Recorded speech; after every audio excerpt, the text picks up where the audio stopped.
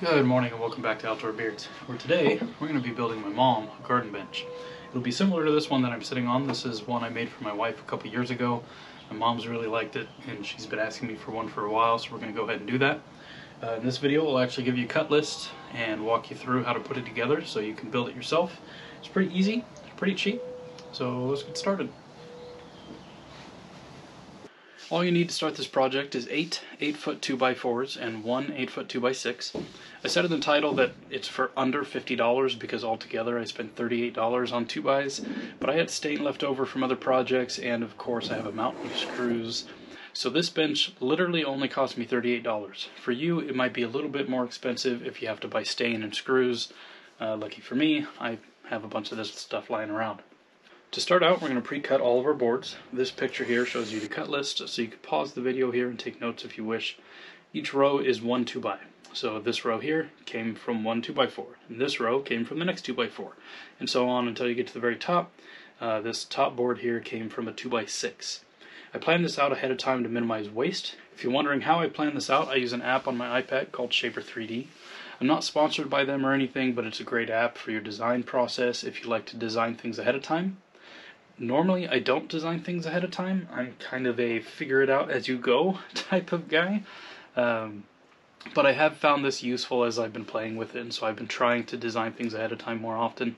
Anyway, that's that's not important for this video because you're just here to learn how to build a bench and not to learn a CAD program.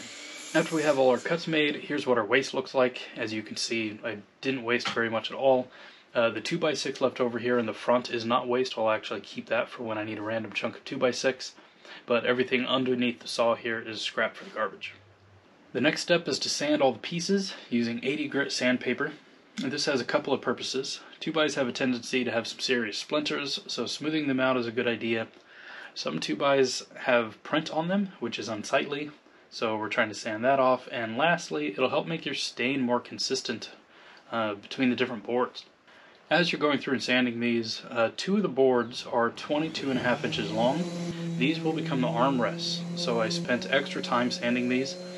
Also, I choose which cut edge will become the front, uh, where your hands will rest, and I'm going to use the sander to round off those edges to make it a little bit more comfortable for your hands. The next step is staining. I'm using a Behr waterproofing stain and sealer. This particular color is called chocolate and goes really well with the cushion my mom bought for this. I apply two coats with a brush. One of the reasons I like to pre-stain all my projects before I assemble them is to assure I'm waterproofing every inch of wood, including the end grain, that you won't have access to after it's assembled. If you assemble the product first, then you can't stain the areas where the boards are touching. Moisture gets in there and it just deteriorates the wood faster. You can see here I have some sawhorses set up and a table. I'll stain one edge, then rotate the piece and stain the adjacent edge. By the time I've done this, all the boards that I started with are dry, so I can rotate them around and continue working on that board. Moving on to assembly, we're going to start with the seat frame. Grab two of the 52 inch boards and three of the 16 and a half inch boards. In the six and a half inch boards, we're going to drill pocket holes on both sides of all three boards and then screw our frame together. I'm using a pipe clamp to make this a little easier. If you don't have one of these, it's not a huge deal. You don't you don't have to have one. It does just make the process a little faster. After that, we're going to install five of the 51 inch boards for our seat. It's really important for me that all the screws line up, uh, so I'm going to pre-drill and countersink all the holes. Grabbed a scrap piece of 2x to use as a jig for drilling the holes, which ensures they're all in the same spots, and also kind of speeds up the process. When installing the seat boards, the gap between each board will be one half inch. I would suggest cutting a few scrap pieces that you can use as spacers, uh, but I didn't want to pull the saw back out, and so I kind of had to do it the hard way. Should have planned ahead a little better on that.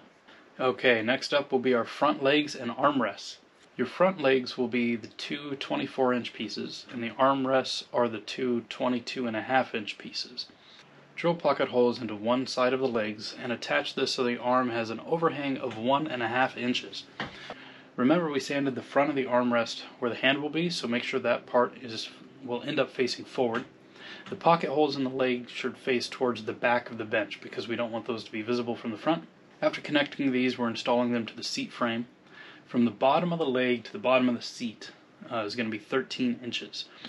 Make sure this is square before you install a couple screws through the front of the leg to attach it to the seat frame.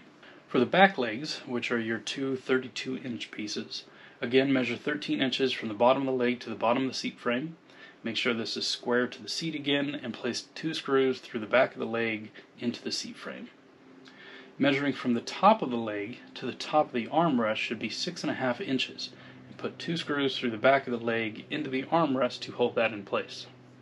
Onto the backrest, take all seven 19 inch pieces and drill two pocket holes in only one side of each of them. Grab your 2x6 and mark out the placement of the backboards. Each 2x will be 2 and 7 16 inches apart. So I measured from one end, I marked 3.5 inches, which is for the legs. Then I marked 2 and 7 16 from that, then 3.5, then 2 and 7 16 and repeat all the way to the end of the board. Now I clamp my back pieces on based on those lines and screw them in place. Remember that the two outside positions will be taken up by the back legs, so don't install these in the two outside positions. To install the backrest section that we just built, we drill two pocket holes into the top of the back legs. Make sure this is on the back side of the back legs. Then set your 2x6 on top. Line up the edge of the 2x6 with the edge of the legs, clamp it, and screw it into place. Then do the same with the other side. To finish installing the backrest, I'm installing two screws through the bottom of the backrest pieces, attaching them to the seat frame. For the final step, I want to stain the pocket holes where the drill exposed bare wood. If you wanted to, you could stain some plugs and glue those in, but I don't really feel that this is an improvement over just staining the holes. But you do need to do one or the other to protect that exposed wood from moisture damage. And we're done! I hope you enjoy your new bench. Thanks for watching, and as always, stay bearded, my friends.